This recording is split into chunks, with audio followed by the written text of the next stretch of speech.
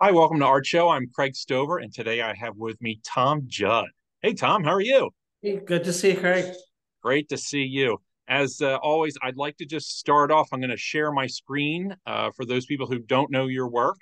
Uh, it's always great to get a couple of images of yours out in front of them. Um, so I, I went to your your site and I selected. So you have no idea what I I selected. I have no idea. Yeah. Right. But I thought you would uh, like to see this. Um, this one I just thought was uh, a fascinating uh, composition. Thank you. Thank you. Yeah. Um, do you want me to comment on it or just? If you have anything to say, sure. I'm sure. Um, yeah, this was a series I did a couple years ago, and where I combined statues. Um, like I, I would go to the museum or go to to the Pennsylvania Academy, and I would take pictures of their portraits, mm-hmm. statues, all kinds of stuff because I just I'm very interested in in in how different that work is compared to contemporary work. So I like to take those pieces and use them in a contemporary fashion. So this that particular statue is from the Pennsylvania Academy of Fine Arts, and um, that's you know I just basically took the picture and then I combined it with wallpaper and different things, and um, it, basically they're collage, obviously, and yeah. Um, but yeah, I I liked it because of the sort of the double landscape. You know, the color, yep. the the wallpaper itself is like a figure ground, but then you've got it in the background as well was like, yep. that was a good piece. I, I like that one. Thank you. Thank you. And a lot of people will recognize this. Yeah. And how big is this piece? This is pretty big. This is like six by five feet kind of size. Okay. Yeah. That yeah, was... it's, pretty good size. And I did a whole series mm-hmm. of what I call disaster paintings, things, you know, like houses getting flooded and you know, when we were having the the, the big, I can't remember which the name of the flood, the one that flooded New York, and uh, anyway, and I so I did a whole series of buildings getting destroyed, mm-hmm. uh, bridges falling down, and I still am very fascinated by that stuff. And this, oh, yeah. this I found a picture of, and I loved it because uh, basically the roller coaster is just literally I drew it with a paint. I mean, I drew it out with you know a pencil, but then it's basically just a dark brown paint over the landscape. For top. Yeah. Any callback to uh, Warhol's disasters? As soon as you started saying, you know what? Series. It's funny. I, I, I, I would love to say yes, but it actually wasn't for some reason. I'm not sure why it wasn't. well, lots. Of, I think lots of artists do disaster pictures. Yeah, you know, uh, but I love his. I yeah. in fact, I think that is the best stuff he ever did. Yeah, I would agree. So, speaking of best stuff, this one really caught my eye. Huh. I, uh, again, I know it's another collage piece. Yes, uh, but I think yeah. it just it just works so well. Thank you, thank you. So what is this is is I did a whole series called Myth of the Frontier, which was playing off of how we think of the the the, the West and how it was settled.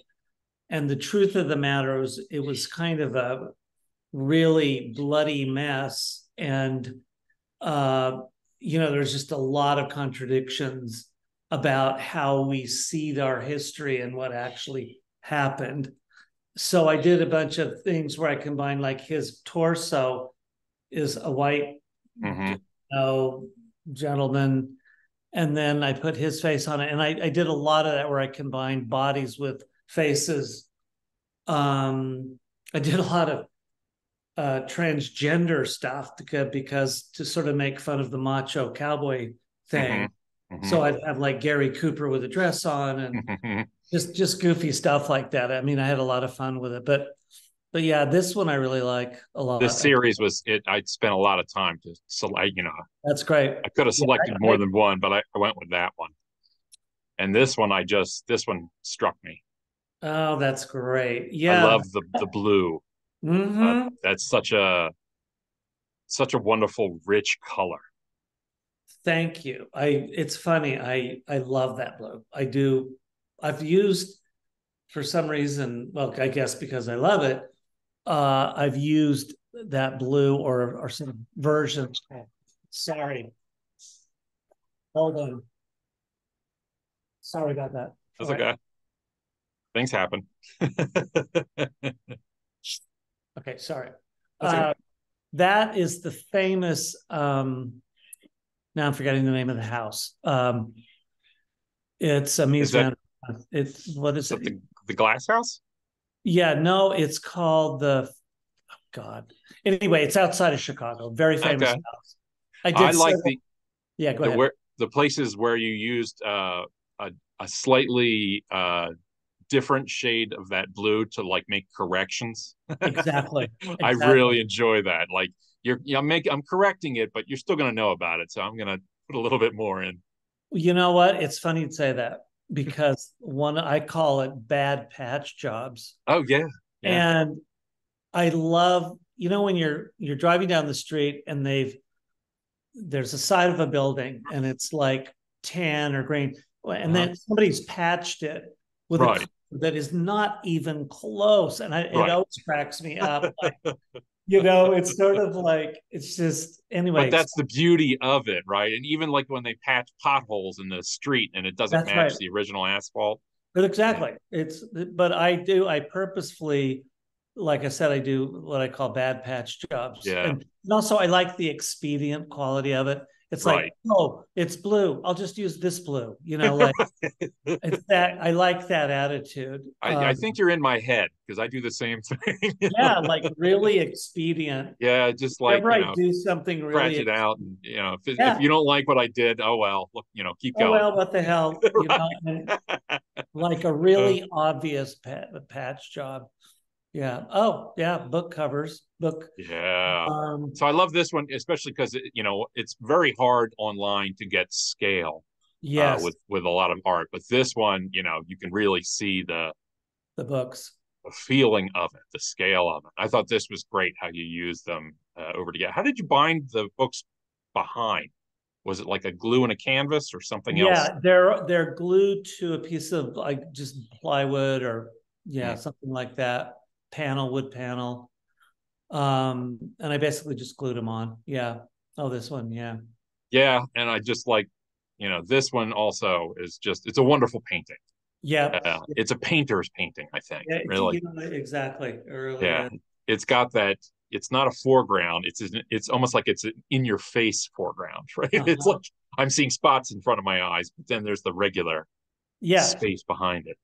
Yeah, and they're all uh, you know, and it's they're painted very again very quickly, and uh, they have some texture to them. They've got some of them I like to play around with. Sometimes I'll drip thinner huh.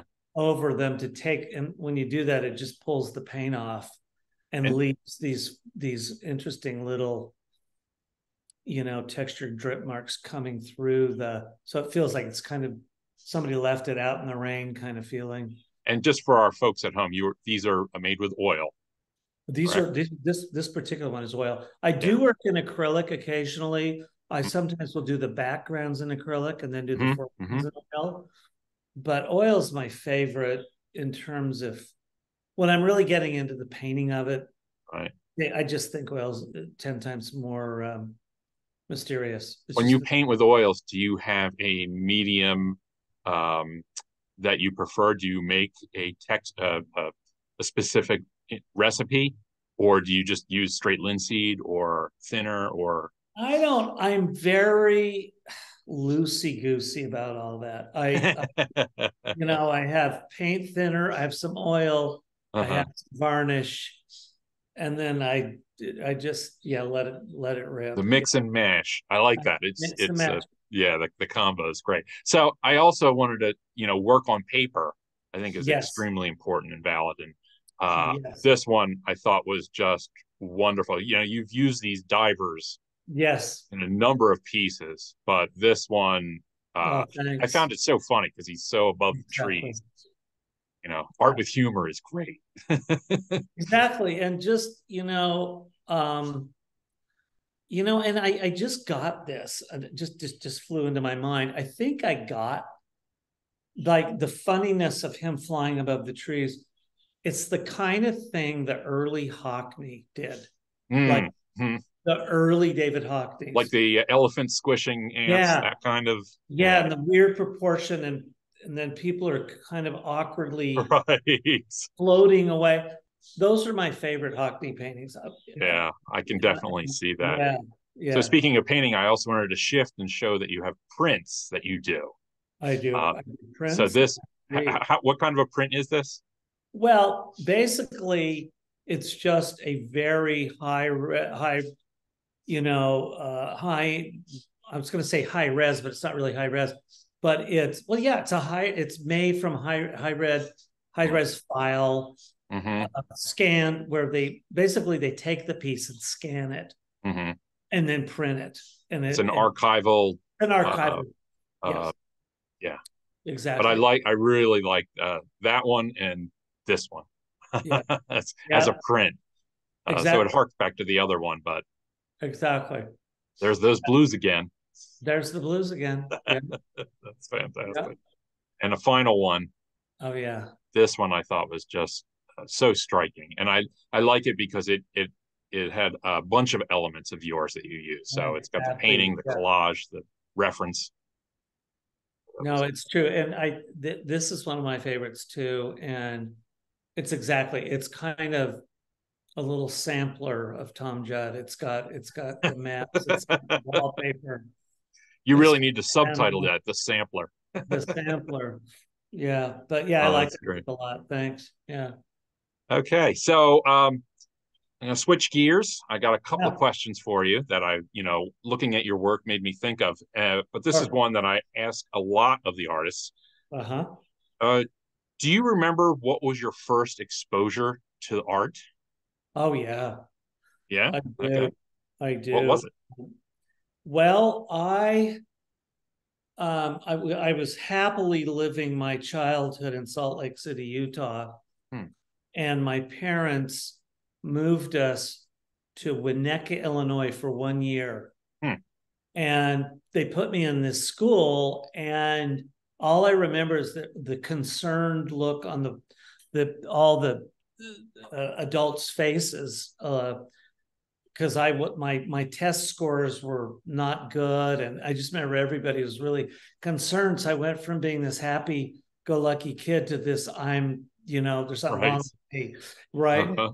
And I started. I just remember sitting around drawing pictures of battleships with hundreds of little guns on them. Uh-huh. After, and the, everybody loved them. All, all the kids loved them Ah, and I started getting this idea like, you know, if all else fails, I can do this. And that was first, that's the first time I thought of it. And really from then on, that became my thing. I mean, art became my thing. Yeah. So at what point did you decide? I mean, it, it was your thing and you did it, but at what point did you decide that you were going to be an artist? Like when did you start really making art? high school, my senior, my senior year in high school, I had a friend of mine who was older than me, and he was doing it.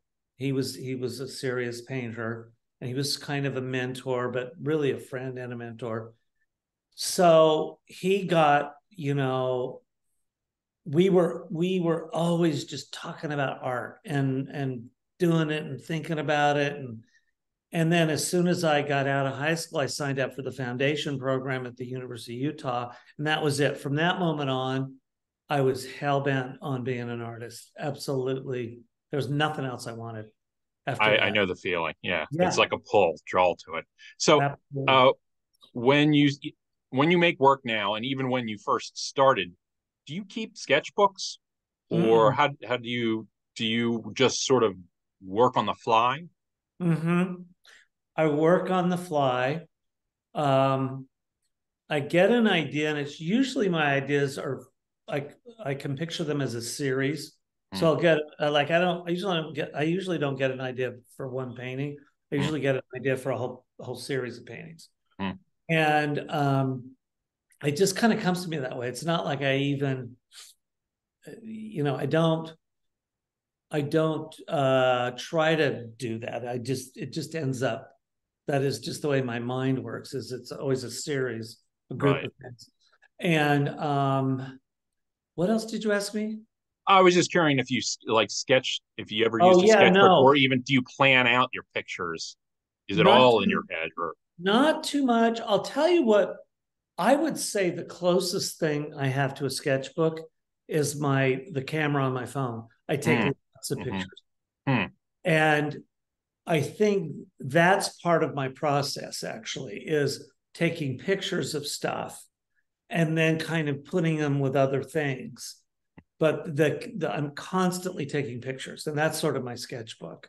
So- Um, when you Yeah. since you take your own or some of your resource material is your own uh, Some of it. photographs right. would you consider your works to be in some way autobiographical or do you do you think of them as separate I think of them as separate, but they're also autobiographical in that it's all very much my worldview. It's all very much how I see the world. So in that respect, it's autobiographical. But I don't, I wouldn't say it's literally biographical. Don't, I'm not out to tell a story, really. I, I mean, I it's okay with me if a story shows up hmm don't start out with a story that I'm trying to illustrate or flesh out. It's it's more like I get in the middle of the painting and I go, gee, that reminds me of da da da da or such and such. But yeah. Anyway, so when yeah. you take you have your own photographs but i also noticed that there are a lot of other source Huh. materials where do you where do you find it where do you get it do you go out hunting what do you Well, the, I, both. Yeah, I mean the answer is yes and yes. Um, I collect other people's photograph, other people's vacation photo, photographs or family photographs. Lo- I love old family photographs. Hmm. So I have. I either get them at you know uh, what do you call the fairs of the um, you know flea markets like that yeah get, get it, but I'll tell you a better source really is eBay. oh mean, really Oh yeah, I I write in um family photographs and you get people just because everybody dies and they have this box of photographs. Literally, you can buy a box of photographs of the people's families. well And- now you're going to have a hard time because everybody's going to rush to ebay and they're going to buy them all so that's a great start. i never would have thought of that there's a ton of them and and then i get i'll get the box and then i'll go through them and i'll and and usually and a lot of times i only end up with two or three out of a big box that i end up using but there's always like yeah a couple that are just zingers. Yeah where you just go, holy yeah, yeah. so when you're making your work do you ever um do you ever rework pieces after a while or do you ever discard them? Do you ever just oh yeah. oh, quit uh, give up burn it. i don't burn them i usually just paint over them hmm or cut them up yeah um, and use them collage in a collage way. yeah Um, I do I do that. Um, I have stacks of cut up pictures and uh-huh I like I have these two big cardboard things on my desk on my drawing table. And you open them and there's just all kinds of every size and shape.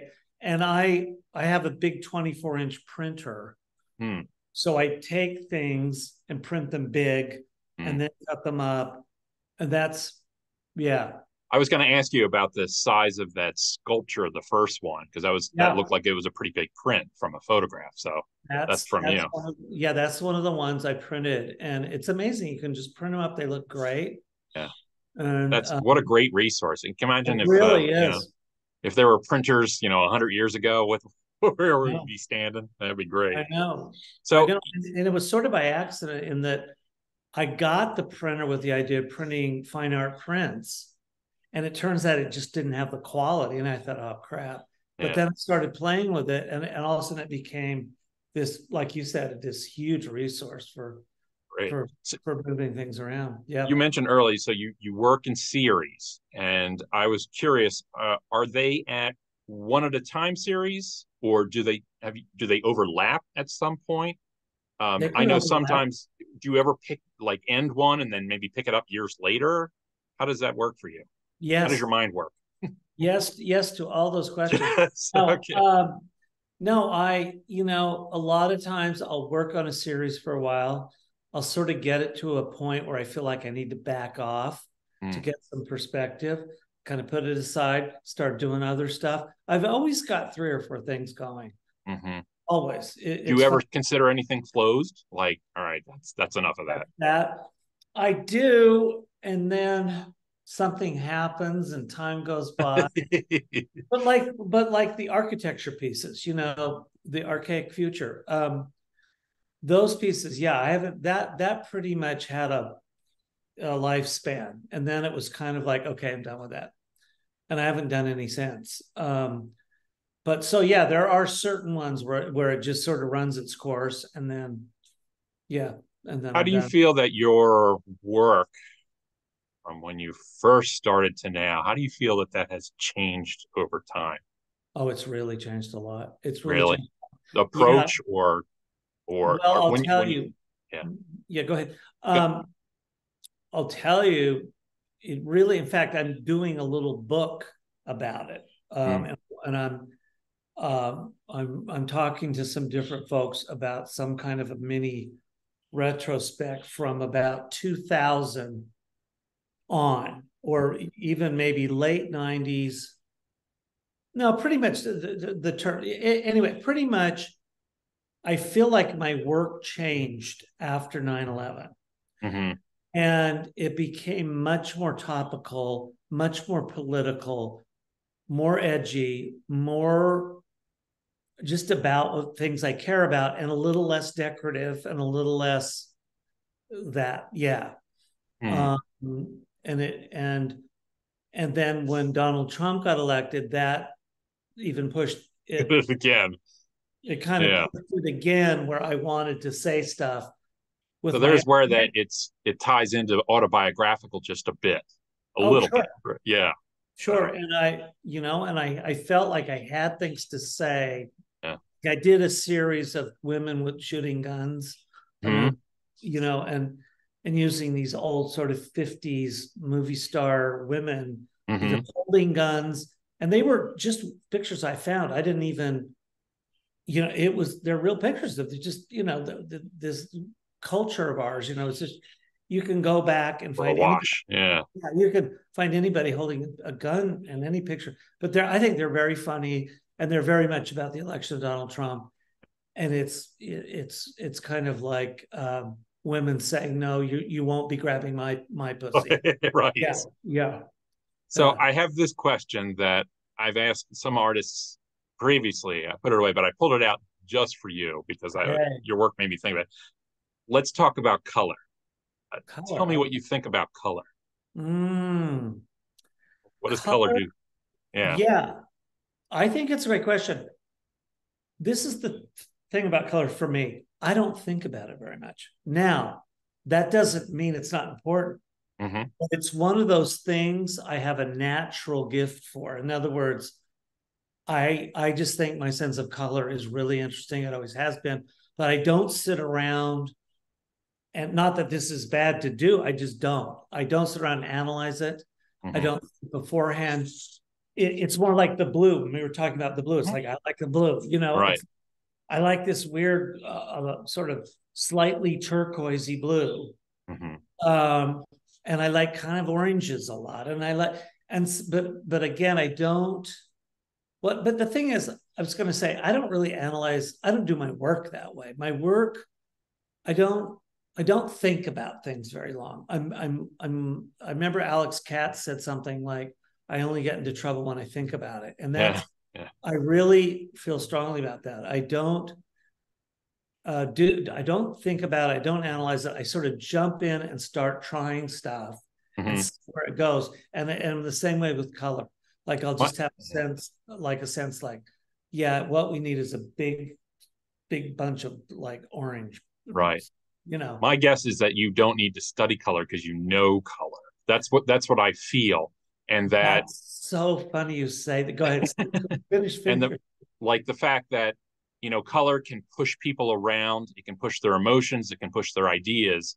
But I don't think I don't see you as somebody who needs to to focus on that because I think it just comes naturally to you. You know, hey, get away. So here's a color that's going to make you get away. You know what? It that's brilliant, and and I'll tell you what. It's so funny you're saying that because when I was in school, I had this class, color study, uh-huh. you, you do the Albers things with right, right, with color aid, and I just thought it was bullshit. I, and and and Boris Putterman. Oh yeah, I had Boris. Right. Yep. And I gave him such a hard time. I so. I just was, and in fact, I ran into him. I mean, he's he's passed on, but I ran into one day at at Trader Joe's, and I went to. I said, "God, Boris, I'm so sorry. I'm such a jerk in your class." And he just laughed. He said, "Yeah, well, you you kind of were, yeah, yeah." but yeah, I wanted nothing to do with color study. I thought it was just hocus pocus. Yeah. So a lot of artists throughout the years, you know, throughout the centuries, have been just, you know, they picked up color and they've just done great things with it. Are mm-hmm. there artists that you look at that you tend to go back to and you know to keep absorbing their work other artists that i don't want to say influence but artists that you're interested in always looking at their work? Not looking for that. Mm-hmm. like i don't look i'm never in a place where i i'm looking for ideas about colors or, or, or even looking for ideas for that matter. Um, but I can say I like the colors of people like Picasso and Philip Guston, and where they take colors that shouldn't work, right? They totally work, like yeah. muddy pinks, muddy, smudgy, muddy stuff, and mm-hmm. it's just gorgeous. Just gorgeous. Yeah, I love Guston's line. Is oh, shaky line. There's no other way to describe it other than a human line, right? So, mm-hmm. Mm-hmm. well, I've got one last question for you, sure. and this is my doozy question. Uh, I asked Kiki the same question. Uh, um, what does making art do for you? What does it do for me? Yeah. Well, I haven't really uh, answered it. It it gives me uh, a way to express myself. That's it. I mean, and and that's what it's about. I don't. Um, I mean, that's a just, big that's a big answer. That's a huge one. That it's how I express myself, and you know, it's fu- it's it's just the most exciting thing I can imagine doing. I mean, it's just enthralling, mm-hmm. really. I, I, you get yeah. itchy if you don't do it for a while. no, I, I, you know, it's funny. I, I like. I'm not one of those people who has to do it all the time. In fact, I like not doing it for a while um, if I've been working a lot, mm. like taking time off because it gets it gets my batteries recharged. I get a fresh look. I get fresh ideas.